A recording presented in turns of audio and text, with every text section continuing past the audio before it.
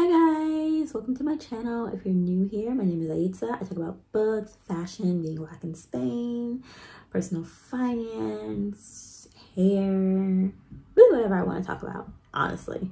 Um, and today I have a book review for Talia Hibbert's um, Take a Hint, Dani Brown. I don't know if I did a review for Chloe Brown, but I read Chloe Brown and I like that. And now we're going to the story of her middle sister, Dani Brown. So let's get started. So I gave this book 4.5 stars, if I recall correctly. Um, it was high on my list. It's one of my favorite tropes, which is fake relationship slash fake dating trope. Um, because I'm a sucker for a good fake relationship trope especially when the people like already have a backstory which these characters definitely do and it just made me it made me swoon. It just okay first of all can we talk about this cover? Um the cover is great. I mean look at that. Like he's just he's her knight in shining as meredith grey would say my knight in shining whatever. And that's how that felt felt. Um and I love it from her pink hair. And we learn about how like she changes her hair a lot um that he's an ex-rugby player. Shout out to the athletes. We love a good muscly hunky athlete. Just a big strong man and he's brown um as well. I'm trying to find go and see what i um what i rated this but i'm pretty sure it's a 4.5 i'm like 90% sure it's 4.5. Um,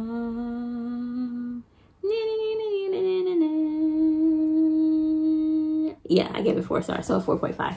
Okay, we got that taken care of. Um, yeah. So the cover is just gray, also yellow. Yellow's a great color for darker skinned people in general. It's just it's just everything. Um, but Dani uh, and Zaf, or Zafir, I hope I'm saying that right, um, have been friends for a year. She's a PhD student um, or PhD candidate, maybe. I don't know how far along she is in her process or what it looks like in the UK. Um, and Zaf, he works at the university as security. They have playful banter in the morning. She brings him coffee and tea, or him a coffee and herself a tea, and you know, and she's prayed um, and she's a witch and she's prayed and asked um, for the ancestors and the gods to send her a man um, or a sex friends with benefit or whatever. And she's going to be single and stay off sex until he comes. And you just have this hunk of a gorgeous brown man. He is, I want to say he's Pakistani. I'm like 99% sure he's Pakistani just because I know his last name is Ansari and that's a Pakistani last name, but I could be wrong. But like 99% sure he's Pakistani. Um, he was one of the only professional Muslim rugby players and he got a lot of attention. He had a tragic family accident that led to some mental health issues and so he went away he's been living as a security guard. Um, there's like a fake fire thingy that happens and he rescues her and hence the cover where he's carrying her out that that's not how you carry a person that's how you carry a baby. Well it's not how you would carry an, an adult person. Um because a baby is a person. Kinda kinda. Um but oh. Yo someone tagged me in something about police getting arrested. I'm sorry guys. Doing too much. Um but yeah. And it blows up, it goes viral, someone recognizes him for his rugby days, and then they, they name him Rugby, Dr. Rugby, because they think that she actually has a PhD and he's rugby, rugby. So funny, and they go this amassing, and his niece is like, and his niece points into his Instagram and starts blowing up, and he's technolog technologically illiterate and so what they are trying to do is to drum up support for his um, nonprofit, which is where he teaches young male athletes that they can play sports but also be in touch with their emotions, which I think is very important, especially with men of color, because a lot of times across various communities of color, whether you're black or Asian or Latino or something in between, you're taught, you know, we don't talk about emotions, we don't talk about mental health it's white people stuff. That's not something we really need to focus on. Um, and so he's focusing on that aspect of the sport and like you can have both like real men talk about their emotions and things like that. And so drumming up business for that his niece is like uncle zaf like here you go. This is all the publicity. So he goes to dani and he's like this is crazy but all these people are obsessed with us. Will you be my fake girlfriend? And she's like yeah sure. And back her mind she's like mm, i'm plotting because it's gonna be my fuck buddy. uh, and she's also preparing for a plenary i think or like a big conference with her like feminist academic icon and biggest crush. And so they like make that their deadline and to like end the relationship or whatever. And you know you just go through all the tropes of oh we don't want to cross any lines what's going to happen with our friendship? And it just all develops kind of organically. And it's really cute.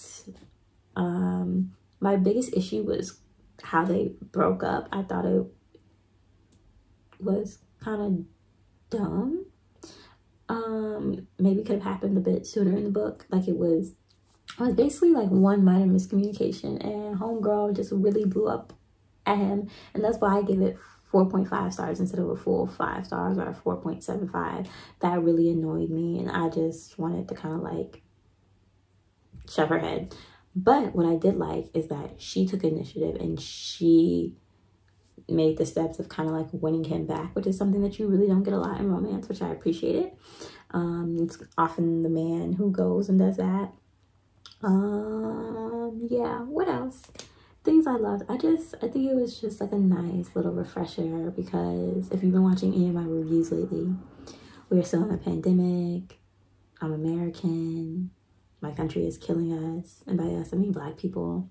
Um yeah so it was just nice to see a black woman get loved and be loved on and to read an interracial romance that does not center whiteness it does not have a white lead like those aren't as common as they should be because interracial relationships and interracial dating just aren't black and white. Like it's a spectrum of things. Like we have brown and brown black and brown. Like just a mix of culture so it was really nice um, to see that. And also, like, oh, what I really love about Zaf, he reads romance and romance, like, helps him get in touch with his emotions. And it's just, oh, I love him. And it's kind of a spoiler, but not really. But Talia posted this quote on her social media where he got busted um, listening to audiobooks of romance by Dani. but yeah it's it's good. It's warm. It's fuzzy. It's goodness. I i think everyone should read it. Um the book comes out on tuesday the 22nd that sounds right. Hold on. Let's pull up our calendar. Or not. It's gonna take forever but i'm pretty sure it comes out on the 22nd yeah i got that no the 23rd tuesday the 23rd my bad. Um but yeah i i think it's a great book. I think it also we see some of her sisters and she has friends that's another thing. He has friends and she has friends. They both have friends. That's another thing. This review is all over the place so just kind of stay with me. Because i forgot to write down my notes. Um because i haven't written out my actual review yet which is normally what i do.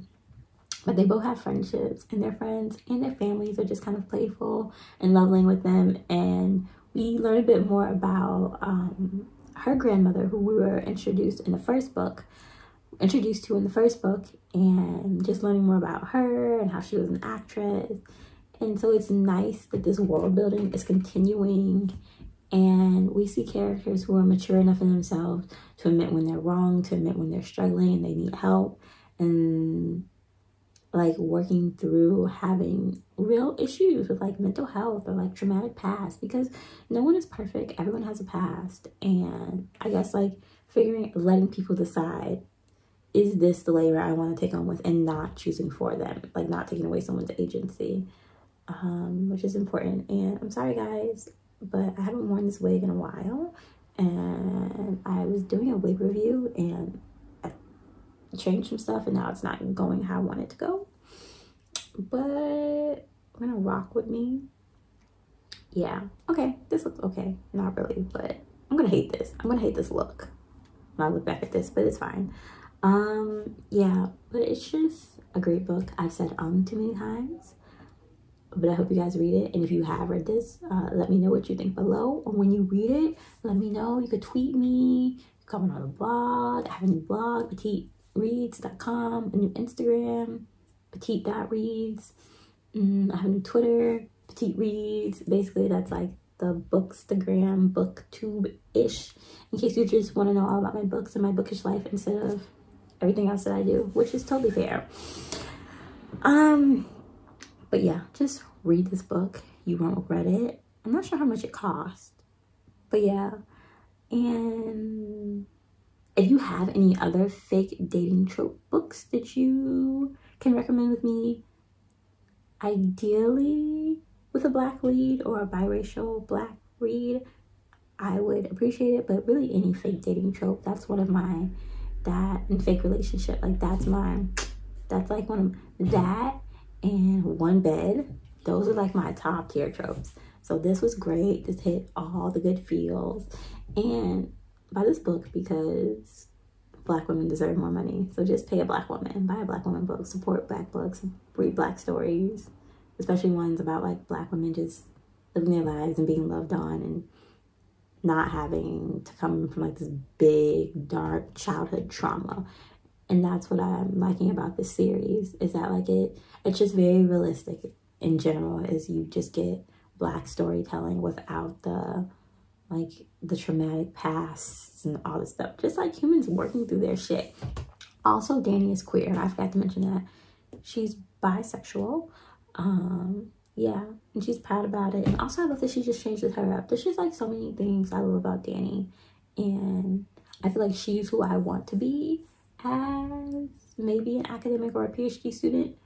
Um and if i were queer i probably would be her for better or worse so i'm just reading books that are reading me for filth and telling my life story and telling me how to get my act together who needs therapy when you have books okay but don't listen to me. If you need therapy and you can afford it, go to therapy.